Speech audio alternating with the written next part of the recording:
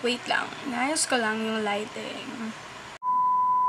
Hey everyone! Welcome or welcome back to my channel. It's really, really, really, really been a long time since I last posted a video. And for today, today, ngayon na lang ulit ako makakapag-film. Like legit ngayon na lang. Wait, I'll just get my phone. Yep. So, ngayon ay October 5 na. It's a Saturday and I just got home dahil ah, may mga inasikaso akong bagay. Wow. And also, yan, it's a Saturday and it's 12.05 a.m. Guys, nag-film ako kasi sayang naman yung ayos ko, 'di ba? But anyways, um, mag-haul ako, mini collective haul kasi sobrang dami na natatabunan na yung mga dapat kong i-video pero di ko pa rin na-film kasi nga ang dami ko lang inaasikaso sa life ko ngayon, schools, um, sa personal life and all. So, yon It's already October 5, 12.28 a.m. And halos kauwi lang namin. And, ayan, meron lang akong cat headband na sobrang favorite ko yan. Tapos, this lang sleeves na parang vintage-ish type na crop top. Actually, kinrap ko lang to. And then, high-waisted pants yung suot ko ngayon. Mag-update lang ako dun sa The Go Glass skincare set na ginagamit ko ngayon. Yung pa rin yung ginagamit ko. I've been using it for already a month na. On one month ko na siyang ginagamit and it's really working on me. Kasi I have friends and they're telling na hindi daw nag-work sa kanila, lalo pa silang nag-break out, stuff like that. Pero sa akin, happy to say, sobrang nag-work siya and nag-fade na talaga. Tapos like, pag ginagamit ko siya, legit na para talagang glass skin. Hindi lang siya sobrang gandang tingnan because of my marks. Pero, all in all, sobrang ganda ng product. And, di ba yung soap, like, hinati ko siya into two pieces. Um, padalwa yung second piece na yung ginagamit ko ngayon. And medyo, like, paubos na din siya. So, parang, sa akin, sa akin, nag-last siya for a month yung sabon. So, siguro mga maglalast siya ng 5 weeks sa akin, 5 to 6 weeks. Kasi, um, feeling ko, pwede pa siyang mas matagal kasi natunaw yung una kong sabon, yung unang piece, natunaw siya nung pahuling part na. So, yun lang naman, ba't ba ako nag-explain? Yun, yun yung, yung tagal niya sa akin. And then, the toner, eto na siya ngayon. And this is the condition of my face right now. So, yan. Ito na yung toner ngayon. Ang bilis niyang naubos kasi twice a day ko siyang ginagamit every morning and every night. Pero yung serum and then yung sunblock or yung kanilang, um, yeah, sunblock. Sobrang a little goes a long way kasi sobrang creamy niya. And like, konting, di ba ito, ito, ito siya. Pag parang konting pump mo lang. Basta, sobrang a little goes a long way, I swear. Kaya ang dami niya pa rin. And then, ito yung yung ano, serum ko, sobrang konti pa lang din nung nababawas. Yun. Yung toner lang talaga yung feeling ko mag-repurchase ako. Pero parang di kasi, di ko, di ko sure kung nakakapag-repurchase sa kanila kapag isang product lang. Parang set talaga yung binebenta kasi yata nila. So, yun, yun pa rin yung mga ginagamit ko as of this moment. Nadagdagan lang siya nung pants, which is di ko rin naman lagi ginagamit. Kasi kakastart ko pa lang nito, wala pang one week, and hindi ko siya everyday ginagamit. Nasa sachet lang siya. Ito yung kanilang day cream for oily skin na nagla-lightens daw kasi ng pimple marks. And also, the lips that I'm currently using ngayon ay yung kay Blythe na 121 Juliet na shade. Yun. Yun na. Yun yung update sa aking skincare and sa aking sa aking skincare, basically sa skincare ko. And yung mga products na ipapakita ko ngayon sa inyo, sobrang tagal ko na dapat siya pinakita. Pero dahil nga hindi ako nag-film, sobrang tamad ko mag-film lately, na-stuck siya dito. Unahin na natin yung galing sa Says Lady Cosmetic. Um, disclaimer muna, I'm not bragging in any way, shape, or form. This is just my way of, you know, sharing the things that I got and kung anong effect niya sa akin, kung ano masasabi ko sa products na yon kung saan ko siya nakuha, kung saan niyo siya mabibili. Yun, yun yung purpose ng video na to. So, if you're not into this kind of video, you're free to skip. Um, watch nyo na lang yung iba kong videos na sa tingin nyo, interested at makakapagpasaya sa inyo kaysa i-hate niya ako, ba diba? So, I got, eto na yung sa Says Lady Cosmetic. Um, Natural Glow Liquid Highlighter na in the shade 03. Um, it has four shades. So, atong 3 yung kinuha ko.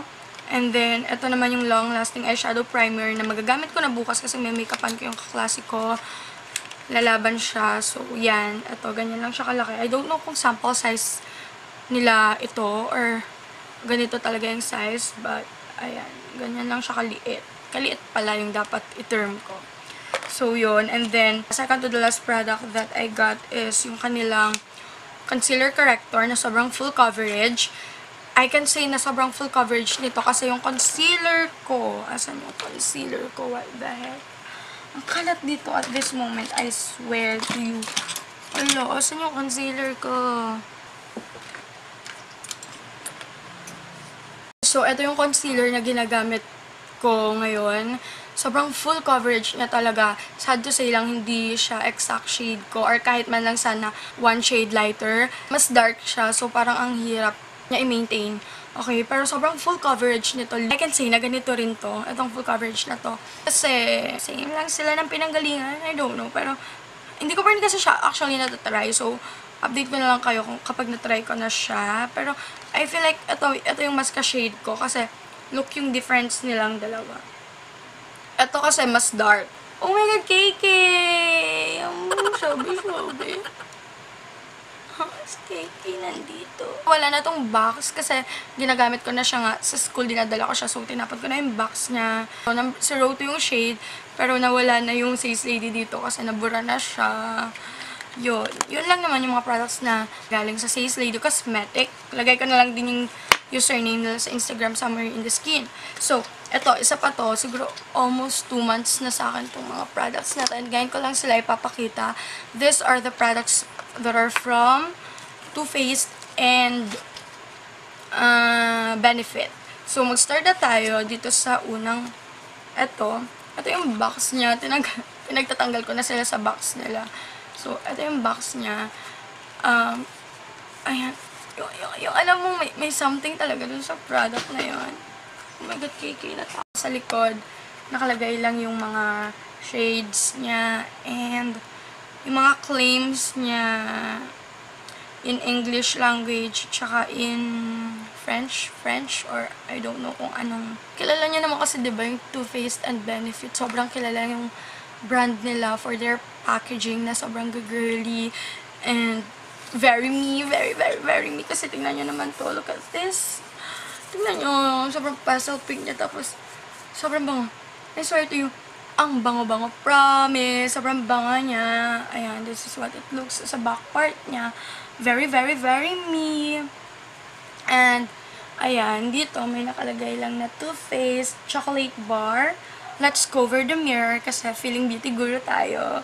Ayan. Wala. Bina, inaamoy ko lang siya. Ang bango-bango niya.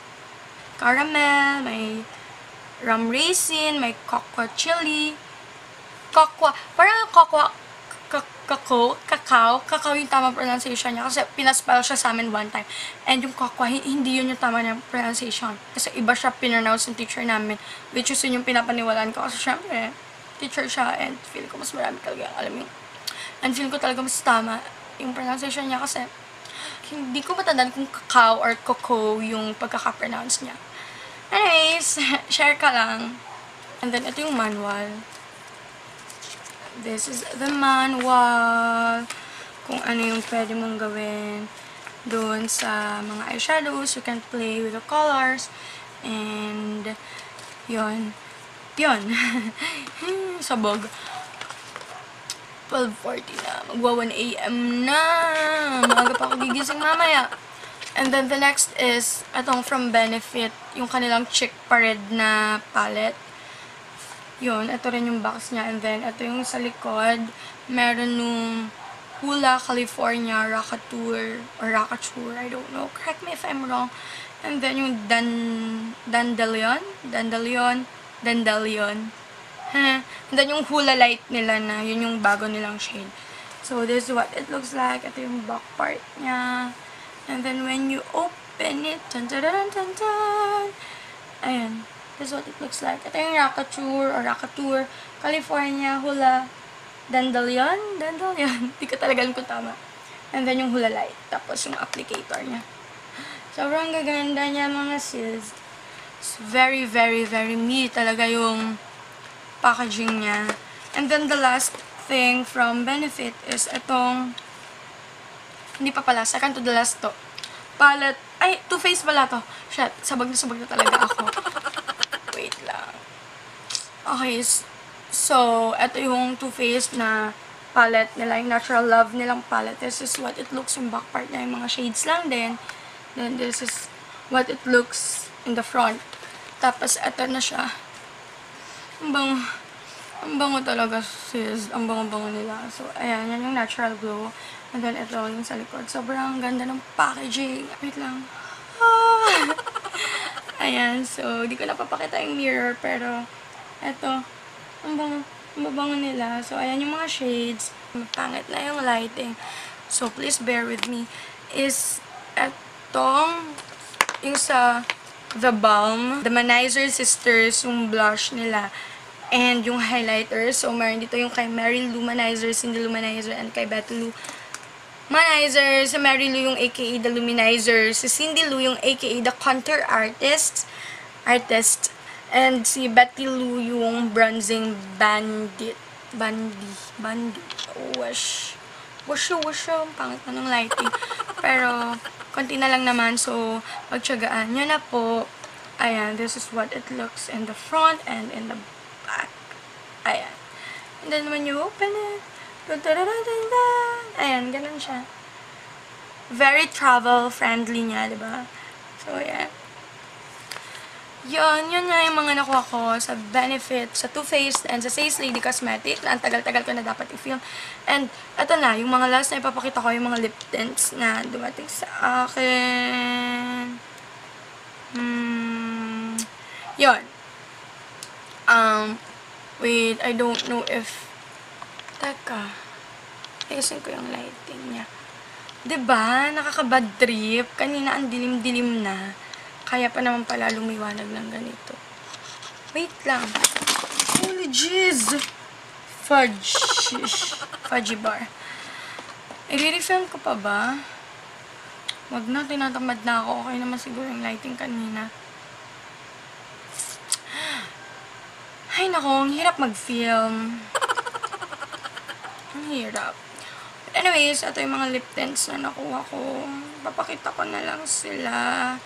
Kasi mag mag-post na lang ako sa IG. So, follow niyo ako sa IG if you wanna see the shades. Kasi antok na ako. Pero gusto ko lang siyang parang ipakita sa inyo. Ipakita ng...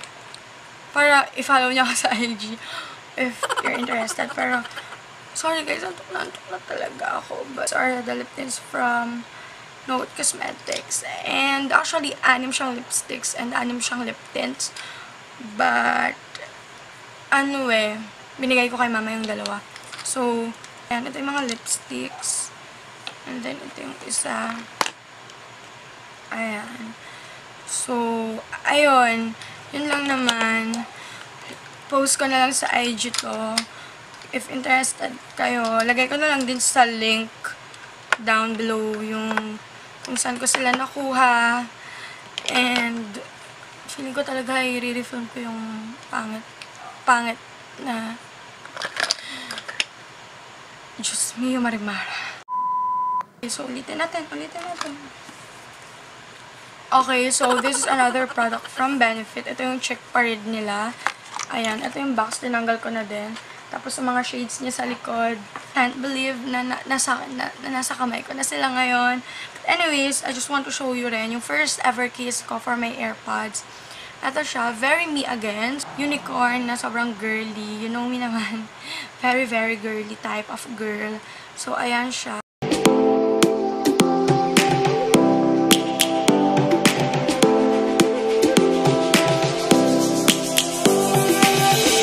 Lions roaring in the morning sun Searching for a longer day